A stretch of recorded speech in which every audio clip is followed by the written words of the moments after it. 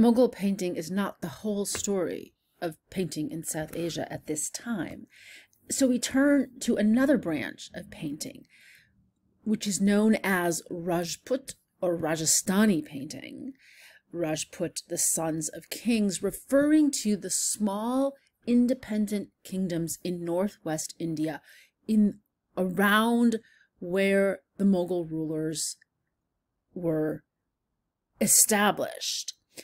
There, so I noted here that th these various kingdoms had different policies or patterns of collaboration and resistance. So some Hindu kingdoms cooperated with the Mughals as allies and tribute states. Others resisted the Mughal Islamic rule. And part of that was to patronize indigenous artistic styles. This is a prime example of the exuberantly stylized approach used by these Rajput painters. So the event it depicts, the story you are seeing, is from the Song of the Cowherd, the Gita Govinda, where the god Krishna is sitting in dalliance is the word used by your textbook authors lovely old-fashioned word is flirting with hanging out with enjoying the company and the kind of erotic buzz of the cowherd the gopis the cowherd ladies um, which is one of his favorite activities. And one in particular radha his great love is consumed with jealousy, that's why she's off to the side surrounded by blue, as all of these other ladies look at him with these enlarged eyes. So this is a painting of the Hindu theme of bhakti, which is the idea of experiencing your relationship to the divine through a, a sensation of love and devotion that would be comparable to Radha's love and devotion to Krishna. So, how do you express that idea of love and devotion to a God that is like an erotic love, but actually a spiritual love? So, this style does that using extraordinarily intense color. Color is what gives a sensation, a strong sensation, almost a vibrating sensation that is analogous to emotion. So you don't just look for emotion in the faces, you feel it yourself in the color relationships of this hot, warm, bold red against the deep, rich black and the, the stark blue. You also use stylization, right? So you, the eyes are delightfully exaggerated, open so wide cartoonish, right? Because they are trying to express the intensity of the regard for of the the devotees for the beloved God. The, they're trying to express the gaze of love between the God and the God's followers. So you also have these marvelous sharp rhythmic lines. You have a sense of patterns. The bodies are all conventionalized. This and as are the leaves on the trees. They are conventionalized. They're not trying to look like real leaves on real trees.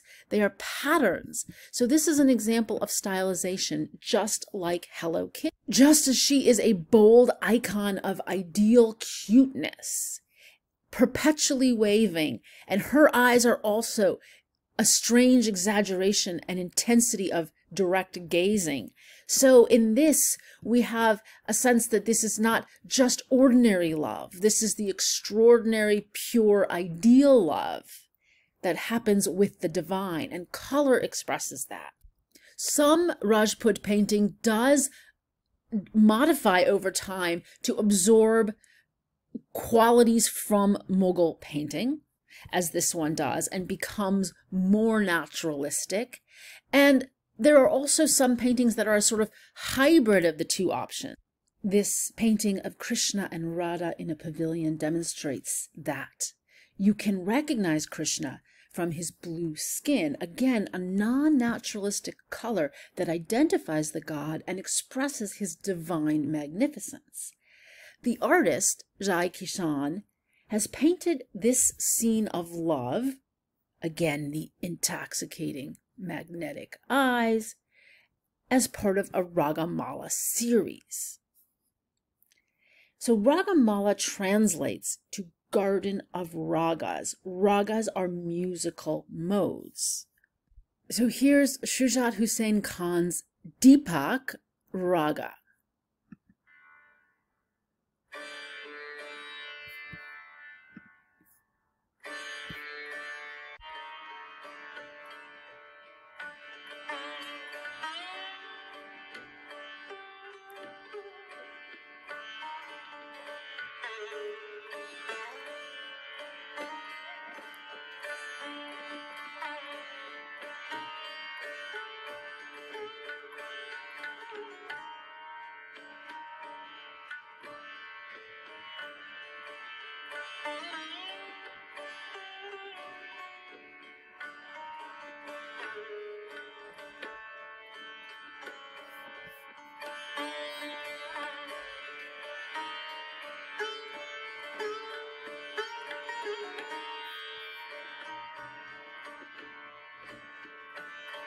If you continue to listen to the music, you hear how it slowly builds and gains intensity.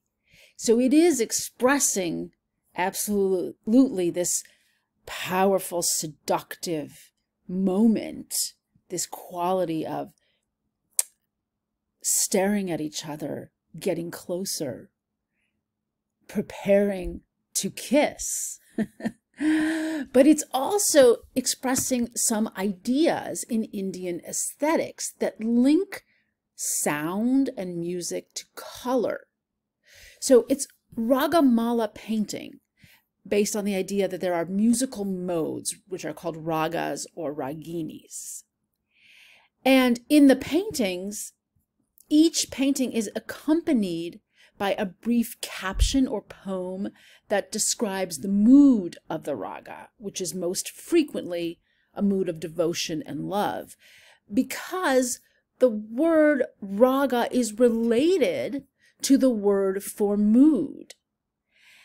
So it is also related to the idea of color. The Sanskrit root word for raga wrong is means to color. So there's this idea that the sound of the music evokes a mood and color does too. So the music is often associated with the moods of different times of day or seasons. And essentially, the painter is attempting to evoke that complex relationship between a musical mood, a time of day, a these and the sensations of colors that express that entire state of mind.